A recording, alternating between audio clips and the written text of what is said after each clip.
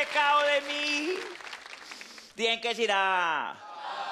Les voy a contar qué fue lo que pasó. Porque ya me han inventado un montón de chismes. Que me accidenté esquiando en los Alpes suizos. Que estaba bajándome de mi helicóptero privado. Que estaba con unas peladas persiguiendo unas vagabundis. No. Puros chismes. Nosotros los pobres, ¿qué nos pasa? Nos caemos de la cama, las matadas más pendejas. nos resbalamos en el baño. O si mucho nos caemos bajándonos de una buceta cuando no ha frenado del todo. ¿Cierto?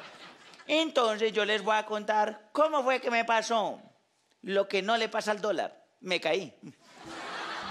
Era una tarde soleada. ¿Sí? Soleada como cachaco en playa. Los pájaros cantaban cual reggaetoneros buscando un Grammy.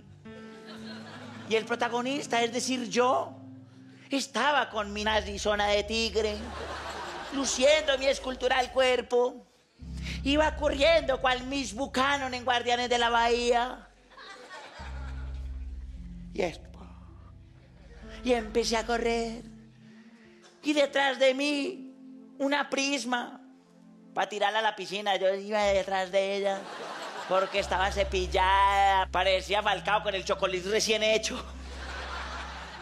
Y yo detrás, porque así es uno, no juega con la familia, yo detrás de la prisma, de la víctima, víctima, víctima, cuando de pronto ese piso mojado, un resbalón inesperado, yo parecía como un hámster montado en un jabón, los pies se polarizaron, o sea, un pie para la izquierda, otro para la derecha. El cuerpo iba cayendo, la baldosa me decía, venga, que no es para eso. Y entonces pensé, no puedo caer con la cara porque yo vivo de mi rostro.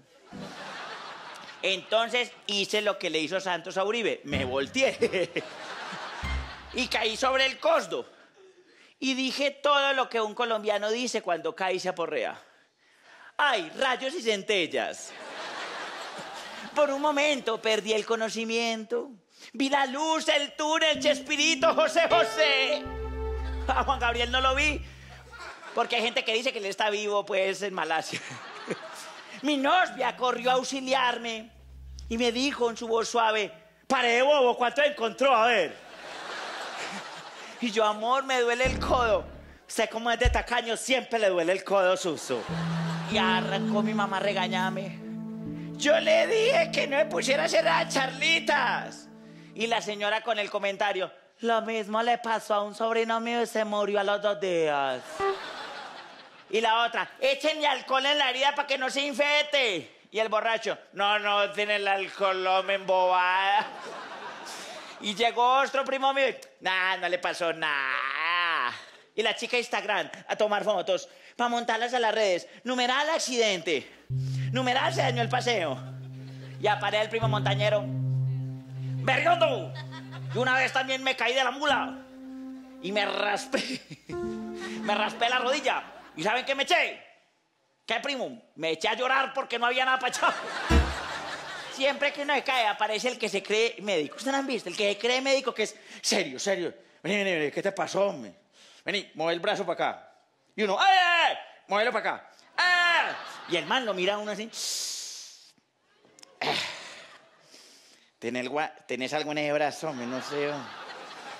Mejor ir al médico, mejor ir al médico. Y entonces arrancamos para urgencias. Y cuando uno va para urgencias, ¿qué piensa? Que no me vayan a quitar los zapatos yo con estas uñas de gavilán. Uno piensa, ay, qué voces fue los que me puse, porque uno no sabe que lo empeloten allá. Sí, qué vergüenza que le tomen a uno una foto ahí con los bosses como la relación de Estados Unidos con Irán rota. Y que lo manden a uno a la red. ¿Quién se aguanta el, el matoneo de Carlos Vargas? Numeral el roto de Suso. Numeral. Hombre, le pueden a uno ampustar una más, ¿no? Pero lo que todo el mundo va a recordar es, Suso tenía los voces rotos. Llega entonces usted a urgencias y si tiene cisben, después de varias horas, le dan y un profeno, un abrazo y una cita para una orden, para reclamar otra orden, para llamar a ver si el especialista tiene agenda en la cita para que le den la cita dentro de un año, más o menos así. ¿Cuándo se la dan? Cuando sea el próximo eclipse, una vaina así. En cambio, usted saca la tarjeta que esas que tiene Milton, la salud prepagada. Ay, amigo. Y eso ahí mismo todos miran nada como si usted sacara un diamante del tamaño de un buñuelo. ¡Ah!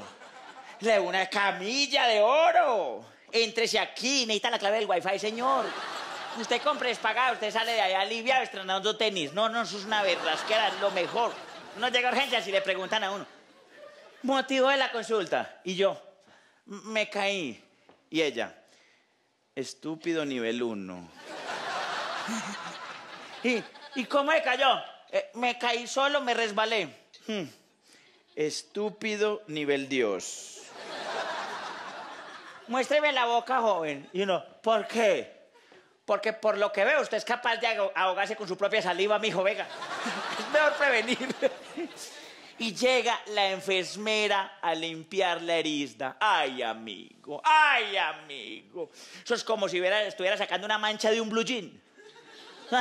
Y yo era, señorita, necesidad de que sea tan duro. Es que se le infecta y no deje, perdamos ese pie, perdamos ese pie. No, es mejor que me lo moche, niña. Es que, ¿cuál es esa rabia? ¿Cuál es esa inquina? En todo caso, quedé como un alcohólico, un alcohólico en tratamiento, no puedo doblar el codo, tengo que tenerlo aquí. Quedé como este país, con una izquierda torpe, una derecha casi inútil y el centro sí estaba más o menos. Por eso, el discreto de hoy es... Gracias por sus mensajes de apoyo y buena energía. Me dan fuerza cada día para continuar el viaje. Pues por eso el trabajo este traje. Me duele hasta el zapato pues por poco y me mato, pero acá estoy trabajando y al mundo declarando que hay uso para rato. A ver.